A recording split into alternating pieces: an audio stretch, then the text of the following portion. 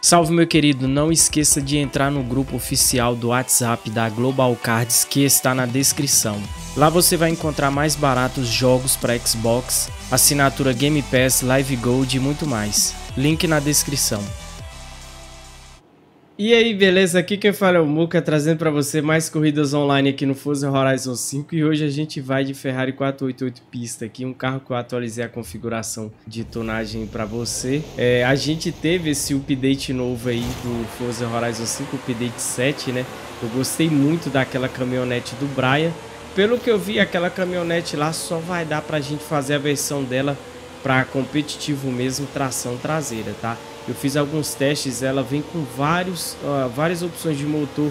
Mano, nenhum motor daquele carro na classe A, que é a opção, a melhor opção para ela, ela não passa de 270 km por hora e mesmo tendo uma aderência boa, acho que é por causa do peso dela, ela não é boa de curva. Então o carro veio assim, é, é um carro tração traseira, né?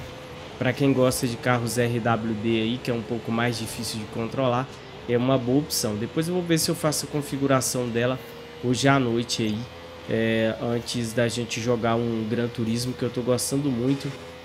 E olha só, eu é, até fiz um, uma postagem no Twitter hoje, deu seis é, curtidas, né? A nossa comunidade no Twitter não tá lá essas coisas.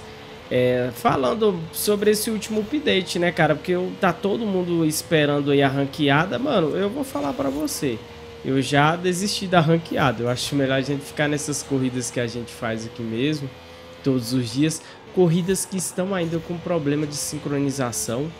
Ontem eu estava correndo no seco e o pessoal reclamando: Buca, você está correndo no seco e ganhando as corridas e eu tô aqui, tá chovendo. É, todo mundo está fazendo essa reclamação. Acho que os desenvolvedores não perceberam isso é, porque eu já reclamei sobre isso, né? Eu já mandei umas mensagens, só que parece que ou esse deve ser um daqueles problemas que talvez é complexo para resolver, né? A gente não tem ranqueada, a gente não pode selecionar várias pistas e correr no modo particular. As corridas de rua parece que eu acho que não estão sincronizadas, eu vi o pessoal reclamando que para uns aparece carro para outros não. Então esses probleminhas eles não arrumaram. Eu até conversei com a galera ontem no, na nossa live da Twitch que o pessoal do Forza, eles até colocam pesquisas lá perguntando o que, que a galera mais gostou do update e sempre o modo online perde. A galera gosta mais de, de novos carros e, e Event Lab. Então, é, a gente que gosta de corrida mesmo, fazer as corridas online, a gente parece que é a minoria. Por isso que eles não estão resolvendo esses probleminhas aí que tira a competitividade do jogo, né? Porque é, é vantagem para mim correr no seco e você, e você correndo na chuva é muita desvantagem, né? Então eu acho que isso tira um pouco do competitivo do jogo. Vamos para mais uma corrida agora de McLaren 765 LT. Mano, esse carro que eu atualizei também, tá? E uma coisa que eu percebi, depois você faz um teste aí se você tiver um tempinho para treinar, eu não estou utilizando mais a trava no gatilho e eu percebi que a, eu estou tendo mais suavidade na frenagem, acho que eu já acostumei com o ponto, né? E eu percebi que nas entradas de curvas eu melhorei bastante, velho, essa questão de, de frenagem, tá? Então recomendo você testar. Outro recadinho que eu queria deixar também é que, como vocês sabem, né, eu sempre é, trago jogos diferenciados como Fórmula 1, tem aí no canal, tem Dust Rally, tem é, Need for Speed, Grid. São jogos assim que a gente vai testando e se for bom a gente continua, né? Fórmula 1 é um jogo que eu quero trazer um novo, tá? O modo história é muito bom. Aí tipo assim, eu trouxe o Gran Turismo, né? E postei aí o vídeo. Aí eu vi que uma ou outra aí, uns, umas quatro pessoas comentou, uai, você abandonou Forza? Tipo assim, eu não entendi. Se alguém puder deixar aí nos comentários eu não entendi. Você abandonou o Forza só porque eu trouxe o Gran Turismo? É, eu, eu acho que o pessoal quer, deve ser novo, né? E eu quero deixar claro, né, para quem é novo no canal, que eu não visto camisa de Microsoft nem de PlayStation, tá? A não ser que me pague por mês. Se o, o, o pessoal do Forza, ó, vou te pagar aqui dois mil reais por mês, três mil pra você jogar só o Forza, tá? Ah, beleza. Aí eu vou defender o Forza, sim, que é Eu tô trabalhando para a empresa, né? A gente vai fazer o possível para melhorar. Caso contrário, não vou abraçar a camisa de ninguém sem me pagar, não. Eu não.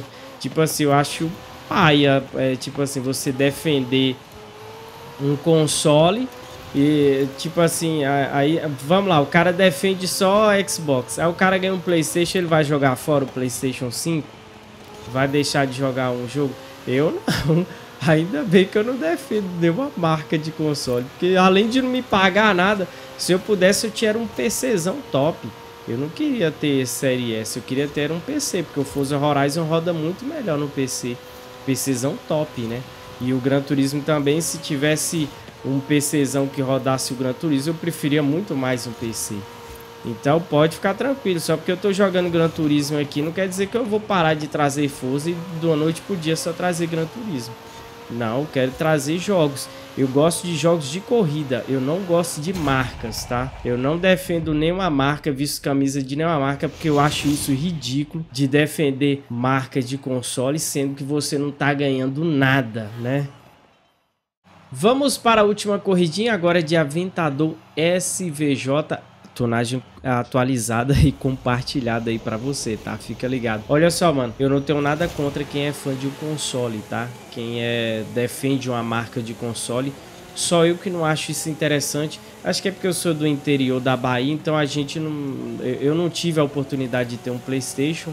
É, o Xbox também demorou para mim conseguir o meu. Então eu nunca tive esse negócio de defender uma marca, né? Eu vejo que o pessoal briga muito nas redes sociais, tem canais no YouTube que só defende uma marca e fica brigando com outros canais. Eu acho que isso não é bom porque você acaba perdendo oportunidades de fazer parcerias. Por isso que eu não defendo uma marca só.